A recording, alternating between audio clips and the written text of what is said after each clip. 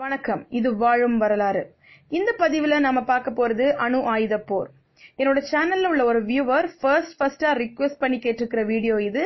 So இந்த பதிவு போடுறதுல நான் ரொம்ப சந்தோஷப்படுறேன். அணு ஆயுத போர் என்பது நாடுகள் தங்கள் தயாரித்து வைத்துள்ள அணுகுண்டுகள் மூலமாக பிற நாடுகளை தாக்குவது. ஒரு நாட்டின் சக்தி அது வைத்திருக்கும் அணு ஆயுதங்களை பொறுத்தே அமைகின்றது. அணுகுண்டு என்பது அணுக்கரு பிளவு மூலமோ அல்லது கருப்பிளவு மற்றும் கரு இணைவு ஆகிய இரண்டின் மூலமோ அழிவு சக்தியை உருவாக்கக்கூடிய வெடிபொருளாகும். இவ்விரு தாக்கங்களும் சிறிய அளவு திணிவிலிருந்து பெரிய அளவிலான சக்தியை வெளியிடக்கூடியது. மிகச் சிறிய கட்டமைப்பில் ஏராளமான ஆற்றலை அடக்கி வைத்திருந்து அதை பெரு வேகத்தில் வெளிப்படுத்துவதே அணுகுண்டின் தத்துவமாகும். இதுவரை இரண்டு அணு ஆயுதங்கள் மாத்திரமே போரில் பயன்படுத்தப்பட்டுள்ளன. இவை இரண்டும் ஐக்கிய அமெரிக்காவால் இரண்டாம் உலகப் போரின் இறுதியில் பயன்படுத்தப்பட்டன.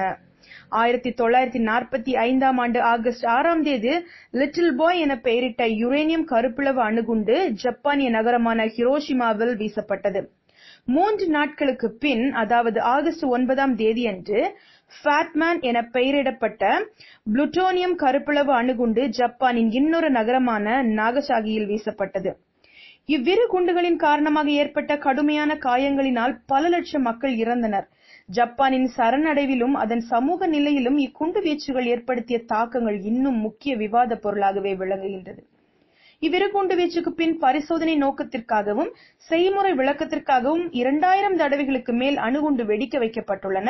ஒரு சில நாடுகள் மட்டுமே அணு ஆயுதத்தை வைத்திருக்கிறதா அல்லது அணு ஆயுதத்தை கொண்டுள்ள நாடுகளாக ஐக்கிய அமெரிக்க சோவியத் யூனியன் ஐக்கிய ராஜ்யம் பிரான்ஸ் சீனா இந்தியா பாகிஸ்தான் மற்றும் வடகொரியா ஆகிய நாடுகளின் பெயர்களை அறிவித்துள்ளது. இஸ்ரேல் அணு ஆயுத பரிசோதனை மேற்கொண்டிருப்பினும் அது பற்றிய தகவல்கள் வெளியிடப்படவில்லை.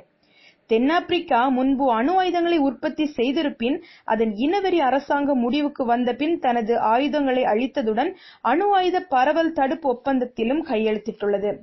அமெரிக்க விஞ்ஞானிகள் கூட்டமைப்பின் மதிப்பீட்டின்படி இரண்டாயிரத்தி பனிரெண்டாம் ஆண்டளவில் உலகின் பதினேழாயிரத்திற்கும் மேற்பட்ட அணு ஆயுதங்கள் காணப்படுகின்றன. சிந்திக்கும் ஒவ்வொரு மனிதனும் அணு ஆயுத போரை குறித்து அஞ்சுகின்றான். எனினும் தொழில்நுட்பத்தின் வளர்ச்சியுற்ற ஒவ்வொரு நாடும் அதற்காக திட்டமிடுகிறது. அது தவறான கொள்கை என அறிந்திருந்தாலும் அணு ஆயுதங்களை தயாரிப்பதற்காக எல்லா நாடுகளும் ஒரு காரணத்தை கூறுகின்றன.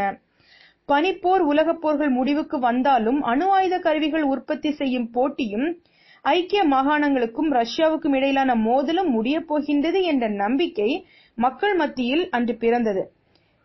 இன்று உலக அரங்கில் அணு ஆயுத உற்பத்தி குறைக்கப்பட்டாலும் அது குறித்த ஒப்பந்தங்கள் கையெழுத்திடப்பட்டாலும் அணு ஆயுத போரை பொறுத்தவரை இது திருப்திப்பட்டுக் கொள்வதற்கான காலம் அல்ல என அன்றைய ஐநா பொதுச் செயலாளர் கோஃபி அனான் தெரிவித்துள்ளார். இந்த நூற்றாண்டின் துவக்கத்தில் கூட அணு ஆயுத போர் மிகவும் நிஜமான ஒன்றாக இருக்கிறது. பயங்கரமாக அச்சுறுத்தும் சாத்தியங்களும் அதிகமாக உள்ளன. அவ்வாறு உலகின் ஒரு அணு ஆயுத போர் ஏற்பட்டால் ஹிரோஷிமா நாகசாகியை விட பல மடங்கு மோசமான விளைவுகள் ஏற்படும் என்பது இன்றும் மனிதர்களின் உயிர் நாடியை சப்தமிழக்க செய்கிறது.